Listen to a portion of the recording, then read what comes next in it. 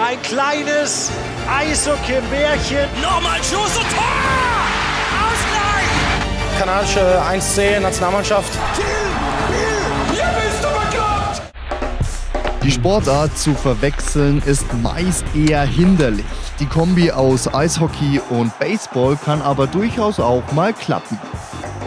Hier, wir achten doch mal drauf. Jetzt! Wie beim Home Run. Und die Scheibe ist im Tor. Oder nicht? Ja, sie ist drin. Das ist das Ding ah, ja. gegen Kuhn, ne? Mhm. Ja. Ah.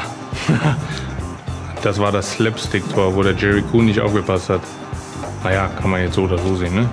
Mit Brad Olsen habe ich in Ingolstadt gespielt und ja, sehr verrückt. Also ich würde sagen Home Run. Mal kurz, kurz vielleicht mal zwei Sekunden nicht geguckt und ja. aber man muss auch sagen, das ist so die Chance. Okay, ne? ja, die Chance, dass er das Ding so aus der Luft ja, da reinhaut. Das, das kannst du nochmal tausendmal probieren und das klappt wahrscheinlich nicht mehr.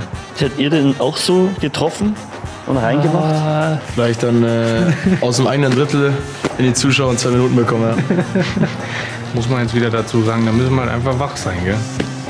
Als ja. Torwart, da ist so. Aber passiert dem Besten, sag ich mal. Also, dass man den wirklich erstmal ja. so trifft und dann aber, dass der noch den Torhüter überrascht und reingeht. Aber das ist schon äh, ein sehr, sehr besonderes Tor, was, glaube ich, jedem, vor allem dem Olsen, glaube ich, im Gedächtnis bleibt und auch im Kuhn. also. Cool. That's it. Das war's schon. Das war's schon, ja. Das ist ja schade. Ja. In den Playoffs ist die Action nicht immer nach Plan vorbei. München gegen Augsburg, die längste Serie der DEL-Geschichte. Mit des Vogs mit dabei. Kasper Vogt, lass dich auf!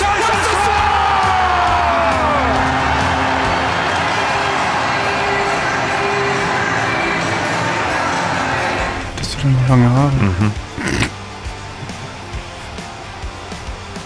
That was game one. You know, semifinals gegen München. I think Volk scored the winner. Alles war Abgelenkt von deinen Haaren. Habe eine richtig schöne lange Haare gehabt. Die Szene kenne ich, da war ich glaube ich sogar aufgestellt, wenn ich mich nicht irre. Es war eine sehr intensive Serie, auf jeden Fall. I remember I was hurt. I tore my hamstring against Dusseldorf in the uh, the first round. But you know, watching that game, I thought going you know three overtimes first game and then losing, it might have put the sails out of us, but we fought back and that was a really good uh, series. Das war eins der brutalsten Spiele, die ich jemals gemacht habe. So witzig eigentlich, dass die, dass der Stadionsprecher dann gesagt hat, die, die Zuschauer sollen bitte ihre Autos von der BMW-Welt abholen, weil sie sonst danach nicht mehr rauskommen. Oh also so spät haben wir da gespielt. Und es ging relativ oft auch in die Overtime, auch relativ lange. Ich glaube, es war in München war noch mal ein zweites Mal Overtime, die relativ lang ging. Wahnsinnsstimmung, also weil es einfach ein Derby war. Sowas spielt man sehr, sehr gerne. Dafür spielen wir alle. It's a derby, obviously. You got triple overtime game one, then you got a Lambs, what was it, triple overtime or double yeah. overtime game three, I think? And the longest um, DL playoff series ever. Yeah. Historic. I mean, every game was, I think, decided by one goal. I think maybe one or two. The last game, game seven, I think it was 2 nothing. Munich. Also wir waren einfach nur froh, dass wir das Spiel gewinnen konnten, weil wie gesagt jedes Spiel war auf Messerschneide und Augsburg hat uns da fast den Zahn gezogen und äh, das hat richtig viel Energie gekostet. It was something I won't forget and I wasn't even a part of it, you know.